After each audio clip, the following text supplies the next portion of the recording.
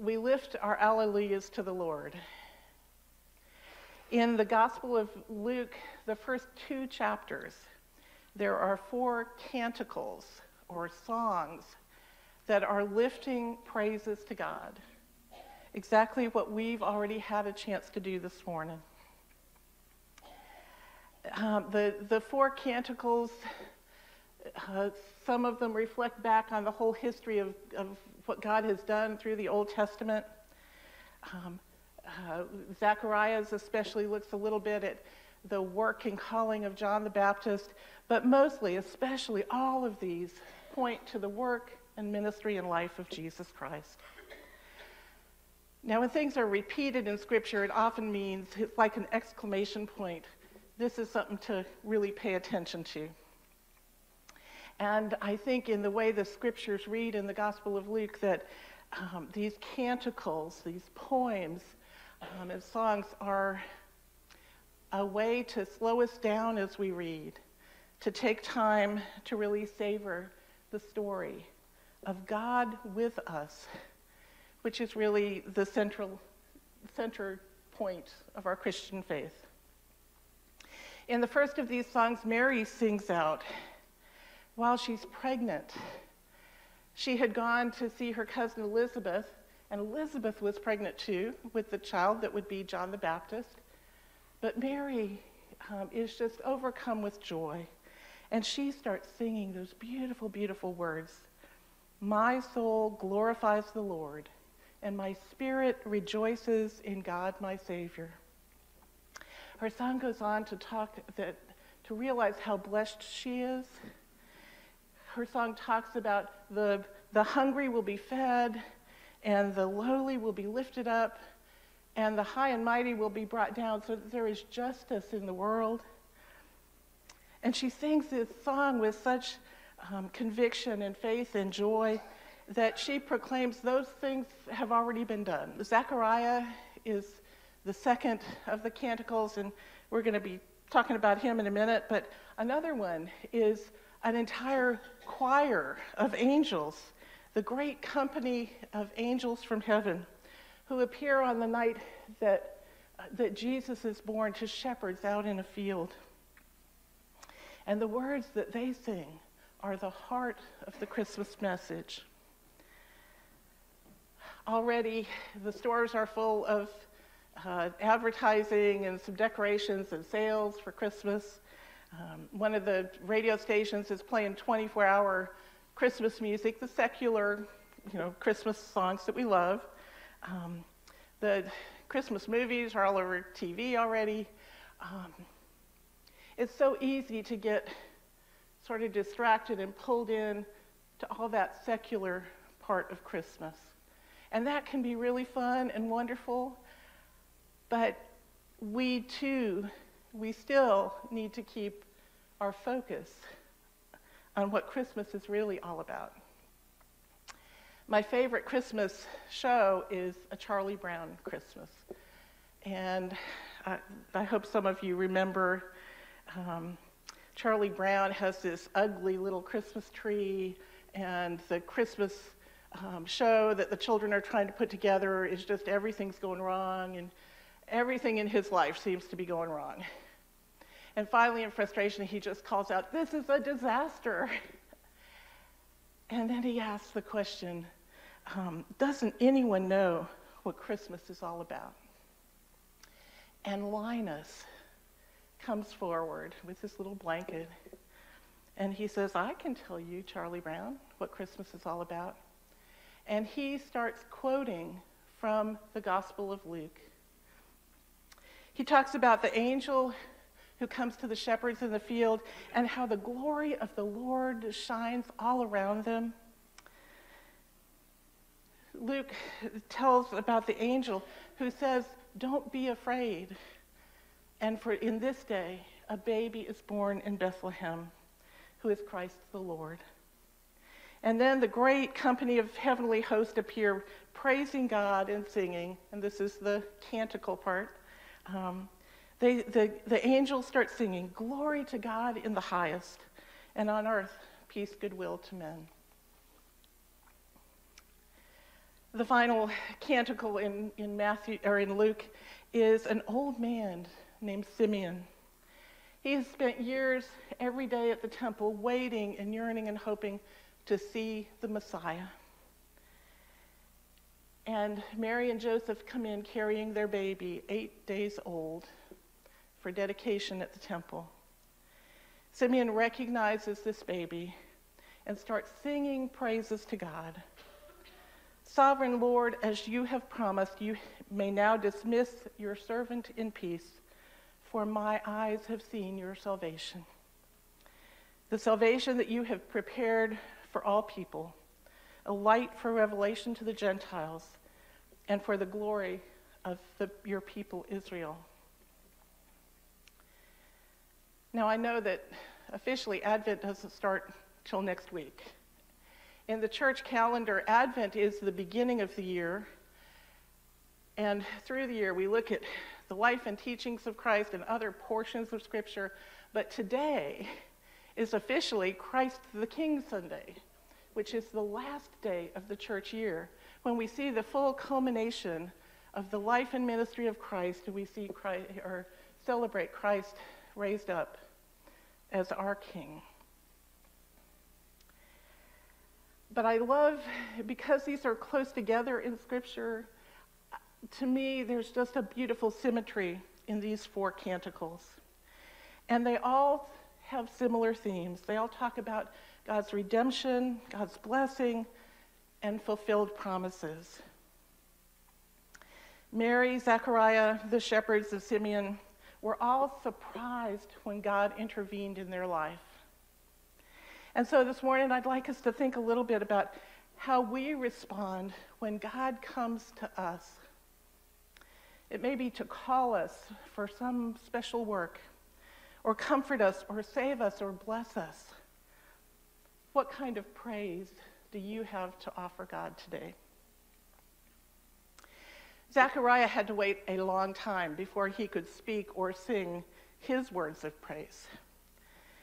Um, in the Gospel of Luke, we read that Zechariah was a priest, and one day when he went into the temple, his lot was drawn, and he was given the responsibility of going into one of the inner sanctums of the temple to give the offering of incense.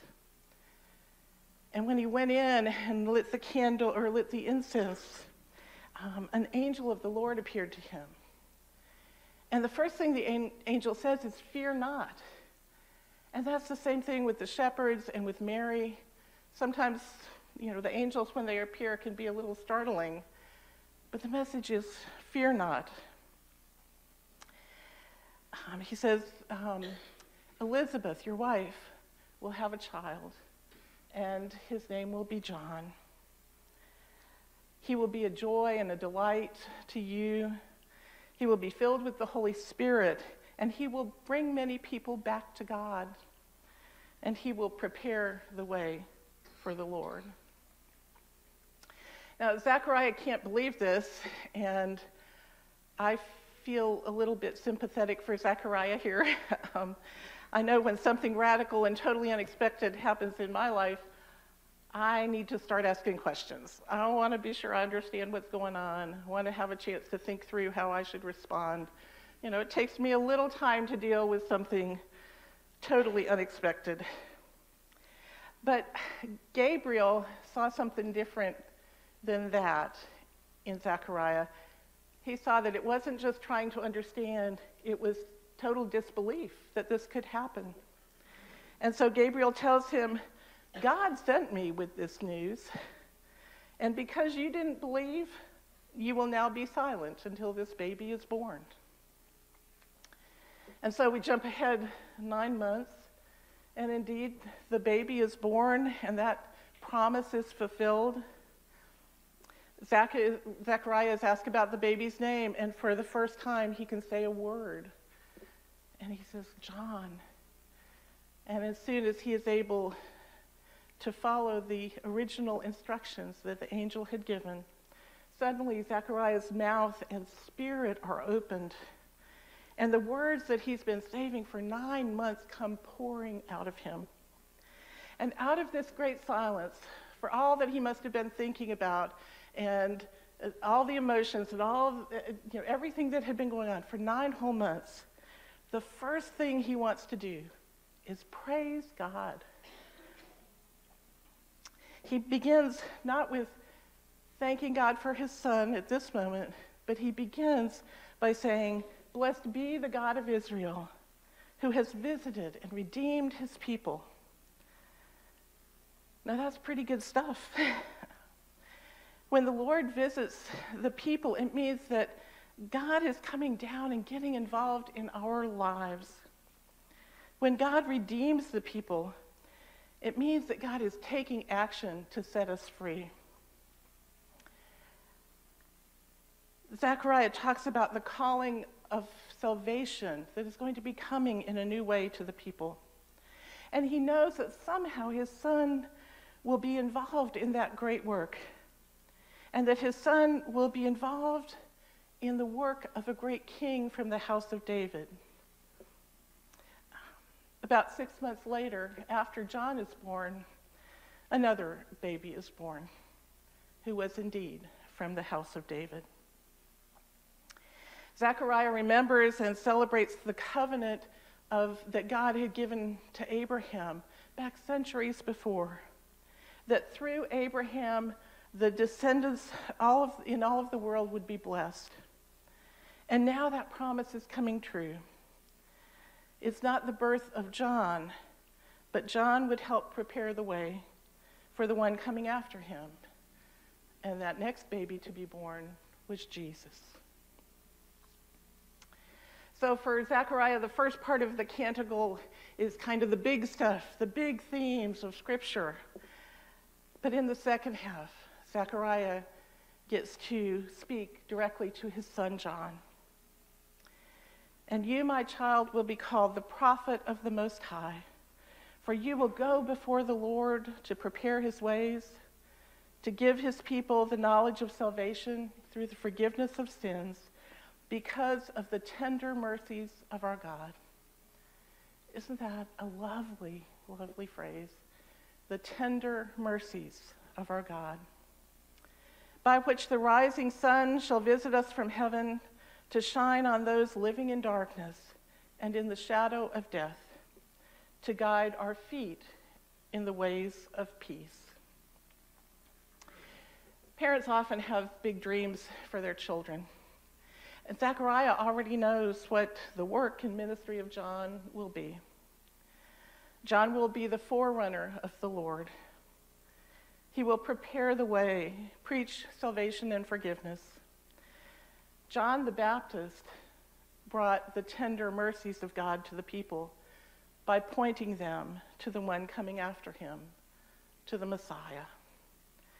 Christ is the one who brings light into our darkness a light that even dispels the shadow of death. We all have some dark places in our lives, some dark shadows, maybe things that we're afraid, where times or places where we're afraid, or somehow unable to find the light to deal with that problem or that relationship or, or that issue. So, where does God need to intervene in your life today? The good news is that Christ has already come. All the things that Mary yearned for, all the things the angels declared to the shepherds, all the peace that Simeon waited for, all the things that Zechariah spoke of, and all the things that John the Baptist preached have come in the person of Christ. Redemption, salvation, forgiveness of sins, the tender mercies of our God, the light that conquers darkness and death, and our feet being guided in the path of peace. Zechariah foresaw all that and sang about it um, through the inspiration of the Holy Spirit. John grew up and carried out his mission to set the stage for the coming of Christ. And Jesus, of course, fulfilled it all. He redeems us still today. He sets us free from sin and death. We have the light of relationship with God shining in our hearts and the Holy Spirit giving us the gift of faith. This is the light that dispels darkness. This is the light that conquers death. Jesus Christ is the light of the world, and in him there is no darkness at all. So today we join Zechariah in singing a song of salvation. In order to join in, you don't have to have a son named John. You just have to know the one whose way John prepared. Because with faith in Christ, we can do and sing with great joy. Blessed be the God of Israel, for God has visited and redeemed his people. Amen.